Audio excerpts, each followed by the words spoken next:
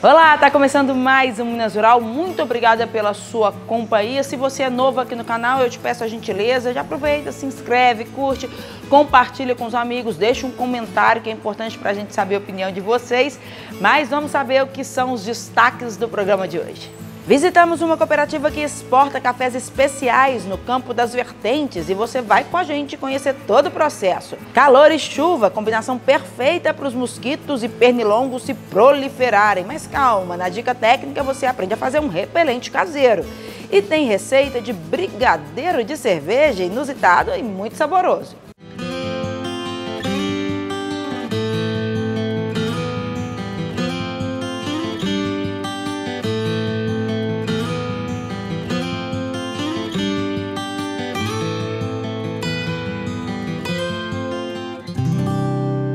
Que os cafés brasileiros estão a cada dia ganhando mais em qualidade, isso não é novidade para ninguém, mas você sabe como é que é todo o processo para que esses grãos especiais ganhem o mundo.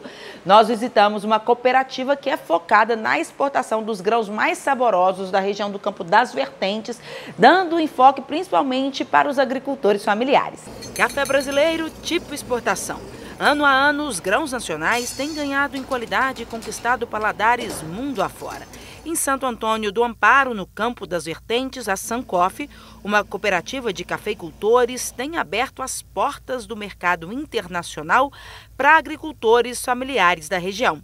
Por meio do projeto Além das Fronteiras, em parceria com a Emater Minas, mais de 350 produtores já mudaram de vida, vendendo seus cafés para países como Estados Unidos, Coreia, Japão, além de toda a Europa. Eu estou exportando desde 2014 através da Sankoff. Antes eu mexia com obra, eu era pedreiro. Eu sou pedreiro, né? não deixei de ser. Só que hoje, hoje eu, eu cuido da minha lavoura porque ela me sustenta. Então o impacto foi muito bom porque além dela me sustentar, a gente conseguiu formar as nossas filhas, que eu tenho uma hoje formada em Direito, eu tenho uma advogada em casa, eu tenho uma uma psicóloga, as duas meninas minhas, a gente pôde formar ela através do, do café. Como que a gente teve essa oportunidade de começar esse projeto, né? É, primeiro se iniciou com a Sankoff lá em 2000, já com o claro propósito e objetivo de produzir café especial de forma consistente e exportar esses cafés de forma direta por meio de relacionamentos muito bem estabelecidos com compradores de cafés especiais. Em 2012 surgiu a oportunidade de trazermos produtores que não eram parte dos 20 membros cooperados da Sancoff, que aí nesse momento se inicia o projeto Além das Fronteiras, no qual nós trazemos não apenas os produtores da Sancoff, os 20, mas pequenos produtores é, da região do Campo das Vertentes para a mesma plataforma, para o mesmo esquema de agregação de valor que a Sancoff oferece para os seus próprios cooperados. Ah, foi a qualidade de vida para a gente, viu? Porque antes a gente colhia café do, do, dos fazendeiros aqui da região. É, eu já trabalhei doméstica, o, o Joel era, era é, trabalhava de pedreiro nas obras.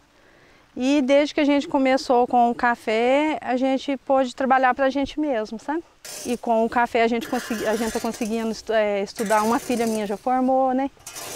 É, em Direito, a outra está fazendo Psicologia.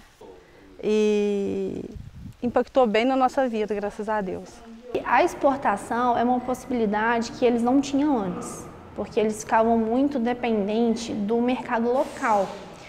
E em anos assim estáveis, do mercado local para o mercado de exportação, ele tem uma diferença significativa em agregação de valor. Para você ter uma ideia, é, nesse último ano, como o mercado estava muito próximo do mercado interno do mercado externo, a gente conseguiu agregar 18% a mais no valor da saca de café desse produtor.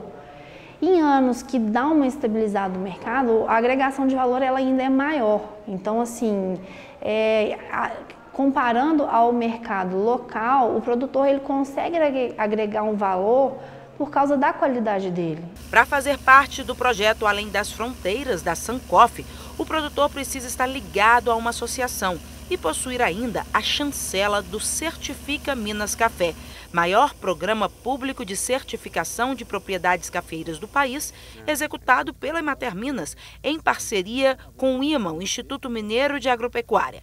O programa estabelece cerca de 100 condicionantes para a certificação, que primam pela sustentabilidade econômica, social e ambiental dentro das propriedades. E a gente começou a enxergar uma demanda dos clientes por produtos com segurança alimentar, produtos com rastreabilidade, produtos é, que quem for consumir sabe que foi produzido de uma forma sustentável.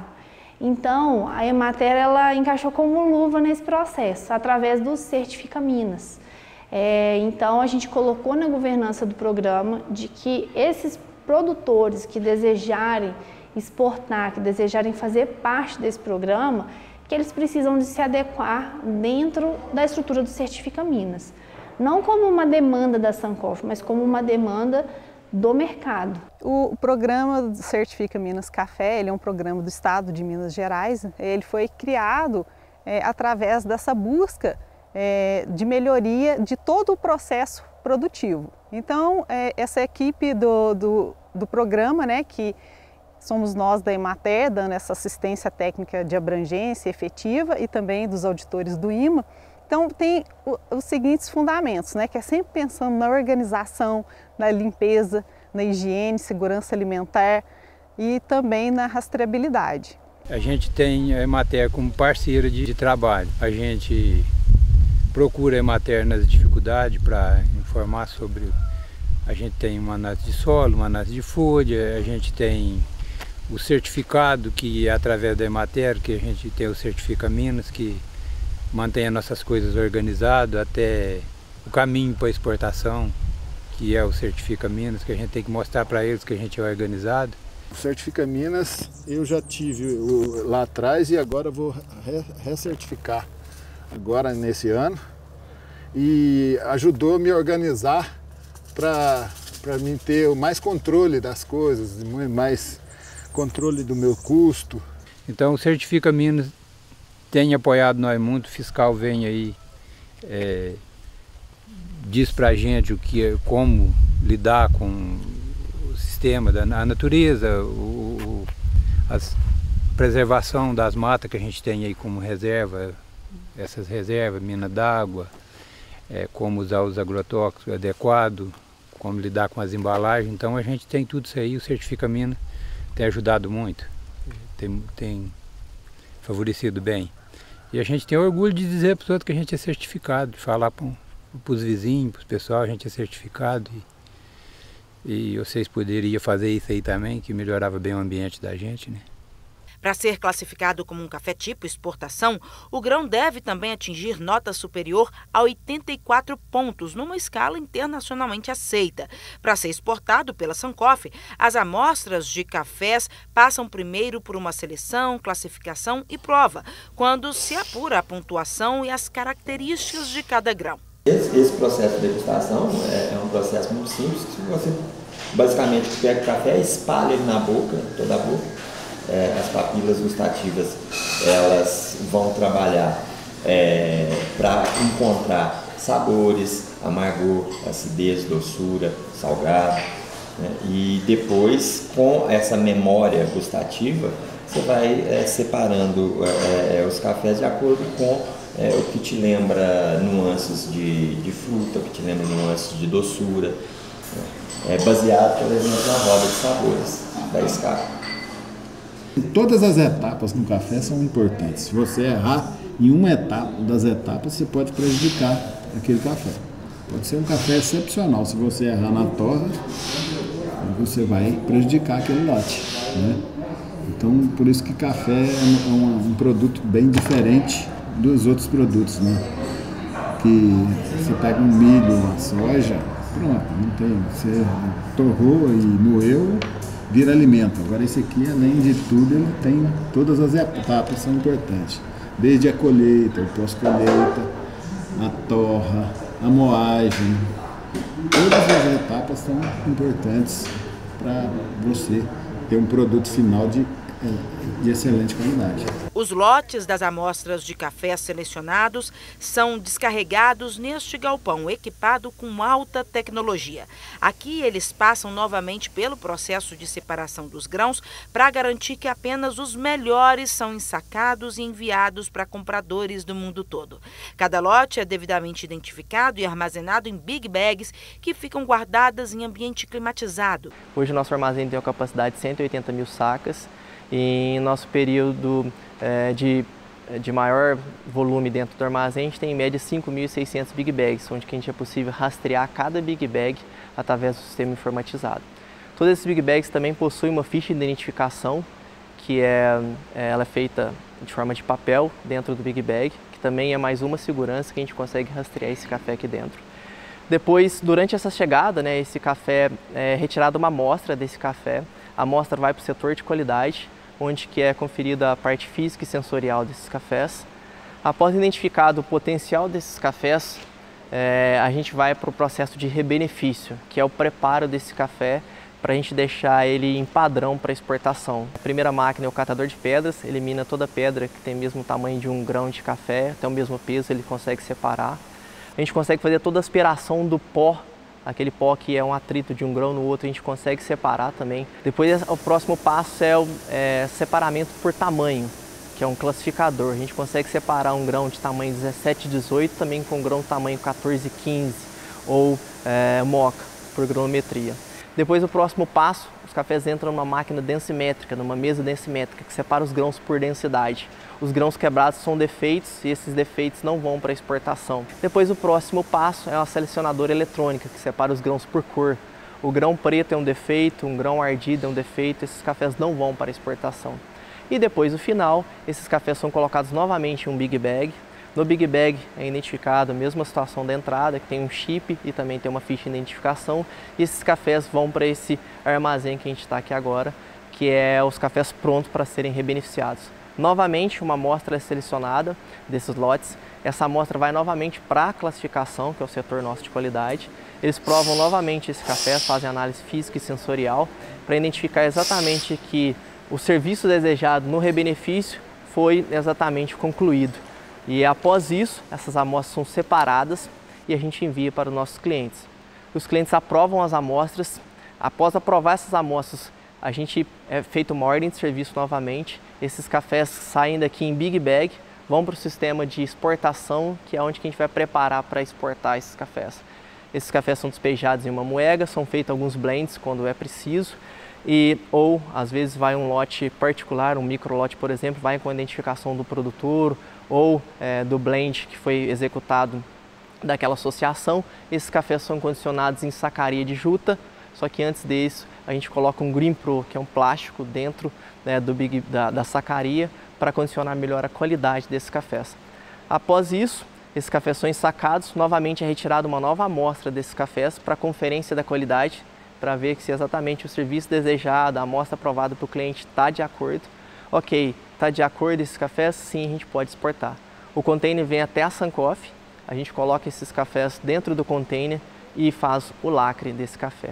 Nesse é, processo todo, a gente termina a entrada até o final desse café. Então a gente consegue controlar toda a parte de qualidade, desde o café em bica corrida que chega da fazenda, todo o processo de rebenefício e também a exportação juntamente com o lacre ou seja, o container sai daqui e depois ele não é mais aberto, só no destino final do cliente. Além do controle dentro do galpão, os grãos exportados pela Sankoff também podem ser rastreados através de um sistema que mapeia a plantação de cada produtor associado. Bom, aqui a gente tem o dado de entrada, né, do lote de um pequeno produtor. Esse pequeno produtor, ele é Certifica Minas, que é o Carlos Grayson, da Fazenda União. E aí como que a gente vai fazer agora para mostrar, né, através do aplicativo, a gente é, poder mostrar de onde veio esse café. Então a gente tem um app que a gente utiliza ele já há uns 10 anos, né, 8 anos por aí, e onde está todas as associações que a gente trabalha, né, as nove, como a Ana comentou, com todos os seus sócios, com todos os talhões, né, em todas as sedes é, das famílias dos produtores participantes do programa é, além das fronteiras. E a gente vai visitar agora o Carlos Grayson, que ele vai estar tá aqui, ó. O código dele da associação é 1006 e a gente vai visitar a Fazenda União, que é a fazenda que veio esse café. Ok? Aí está a União e todos os talhões da propriedade onde veio esse café. Então isso aqui ajuda, né, não só no controle, porque a gente tem gestão de custo também, tudo aqui na, na palma da mão, né? Mas esse controle de você poder estar tá enxergando que esse café você consegue linkar lá no talhão que ele colheu e aí você pega a, a documentação do Certifica Minas e vê que esse café foi colhido na data tal, foi levado para o terreiro na data tal, que passou no secador ou não, que limpou, né? E que veio e entrou no dia 21 do 7, como ele está ali. Isso é fantástico, isso aí gera confiança, é tudo que a gente precisa. Assim, o cafezinho mineiro, da mais alta qualidade, chega com total sabor e aroma para conquistar paladares no mundo inteiro, gerando renda e melhoria da qualidade de vida para os produtores da região.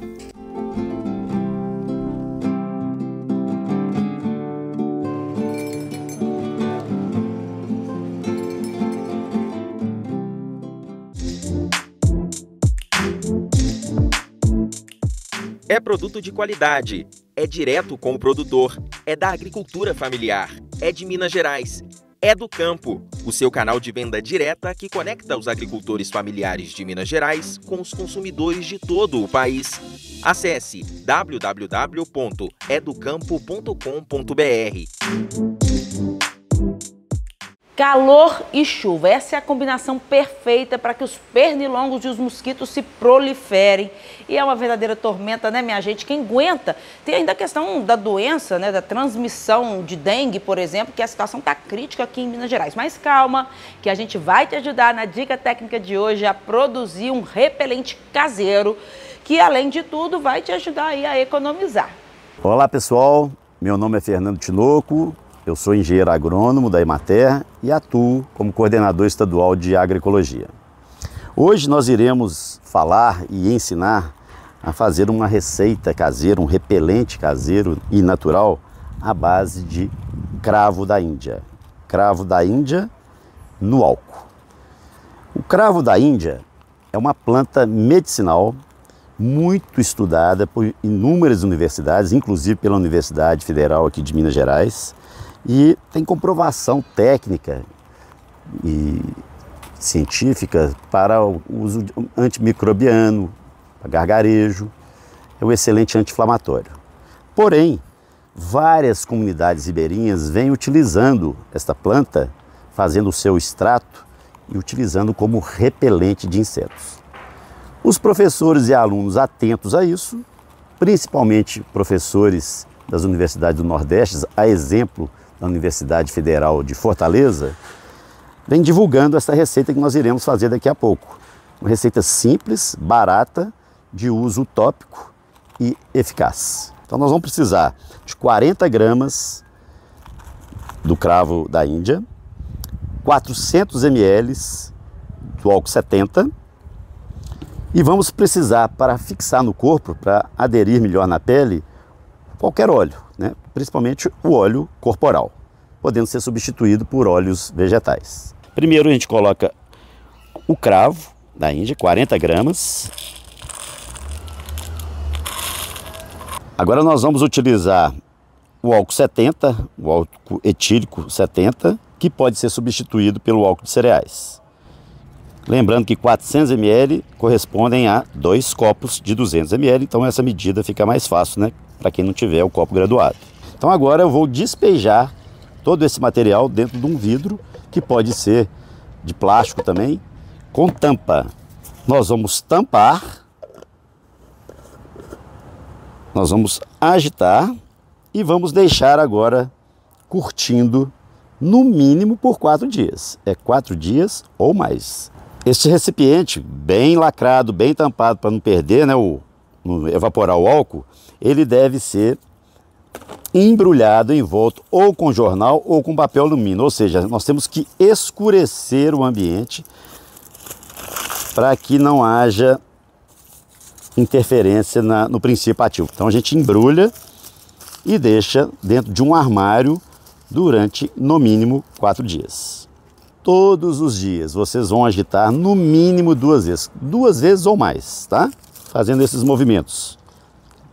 Porque você vai estar é, forçando a liberação, contribuindo com a melhor liberação dos óleos essenciais, do óleo essencial, que é principalmente o princípio ativo maior, que é o eugenol. Passados 4, 5 ou 7 dias, né, o nosso inseticida caseiro vai ficar com essa tonalidade né, de marrom é, caramelo, marrom caramelo, um marrom bem forte, um cheiro muito gostoso. E aí é a hora da gente acrescentar o nosso óleo corporal. Então o nosso óleo corporal ele serve é para fixar. Então para 400 ml a gente coloca 100 ml de óleo corporal que pode ser substituído por um óleo vegetal. Depois de pronto, depois da gente ter colocado o óleo na mistura, ter agitado, a gente vai testar no nosso corpo. Tem pessoas que são alérgicas, então a gente sempre faz uma borrifada, esfrega no corpo e espera por alguns minutos. Se você não tiver nenhum problema de alergia, não tem problema nenhum, já pode já recomendar para a família inteira, né? Para quem não tiver problema de alergia. Mas quem tem problemas alérgicos tem que fazer esse teste preliminar e esfregar e esperar por alguns minutos, ok? Segundo relatos, esse repelente é, de insetos, repelente caseiro, ele ele deve ser utilizado várias vezes por dia, não é somente uma, duas vezes por dia não. De duas em duas, de três em três horas, recomenda-se passar novamente, porque ele persiste, né, ele permanece na pele por pouco tempo, por poucas horas. E chegou a hora gostosa do programa. Hoje tem receita de brigadeiro com cerveja. Você já provou, já comeu? Acompanha aí, anota direitinho faz em casa. Gente, o Minas Rural hoje está aqui com a Juliana Viana, que é professora do ensino fundamental, mas que também é confeiteira. Ela vai contar pra gente, né, Juliana, por que a confeitaria entrou na sua vida? Confeitaria ela sempre teve na minha vida, né? Desde pequena eu vi minha mãe trabalhando, é, fazendo salgado para fora. E depois de crescida, né, aí a gente tomou outros rumos e aí eu me apaixonei pela confeitaria, principalmente pelos doces, né, que é uma coisa que eu gosto muito. E aí hoje a gente vai testar brigadeiro de cerveja. Eu adoro brigadeiro e adoro cerveja. Mas Juntou os dois. os dois juntos vão dar certo? Vamos testar para ver testar? se dá. Vamos lá? No nosso brigadeiro de cerveja vai 395 gramas de leite condensado, 330 ml de cerveja, 40 gramas de creme de leite, 3 gotas de corante alimentício em gel da cor amarela gema e 20 gramas de manteiga. Na decoração do nosso brigadeiro vai 200 ml de creme para chantilly. Primeiro passo, a gente vai fazer uma redução dessa cerveja né? A gente vai levar ela ao fogo baixo por aproximadamente 15 minutos para que o álcool dela possa evaporar.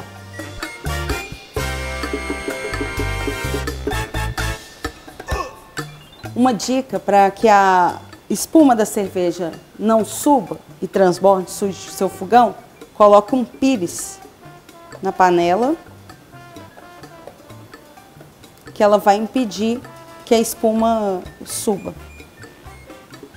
Passados 15 minutos da nossa cerveja no fogo, reduzindo, a gente desliga, retira o pires, deixa esfriar um pouquinho e aí a gente começa a nossa mistura, né? A gente vem trazendo os outros ingredientes. Agora a gente vai adicionar o restante dos nossos ingredientes. A gente vem juntando o leite condensado, o creme de leite,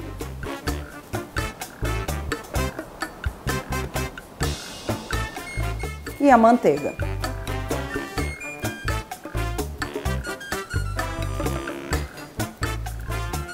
Agora a gente leva o nosso brigadeiro ao fogo, lembrando que a temperatura tem que sempre estar mais baixa.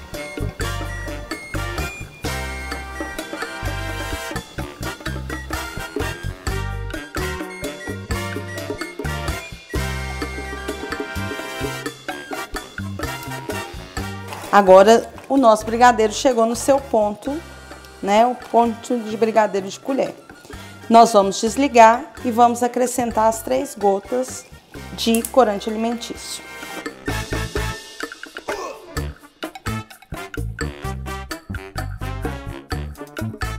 Enquanto o nosso brigadeiro está esfriando, para que a gente possa colocar nos nossos potinhos para servir, nós iremos preparar o chantilly, tá?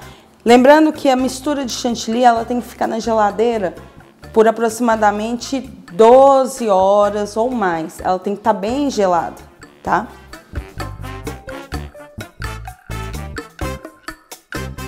Agora a gente vai bater na velocidade máxima. Depois que o brigadeiro esfriou, a gente vai começar a encher os nossos copinhos, né, de chopp.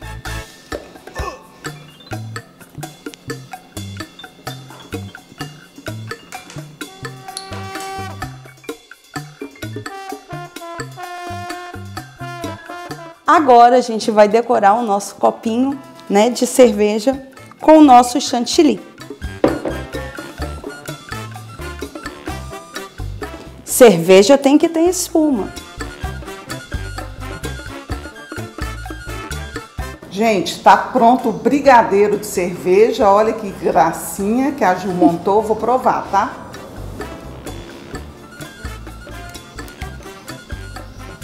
Aprovado.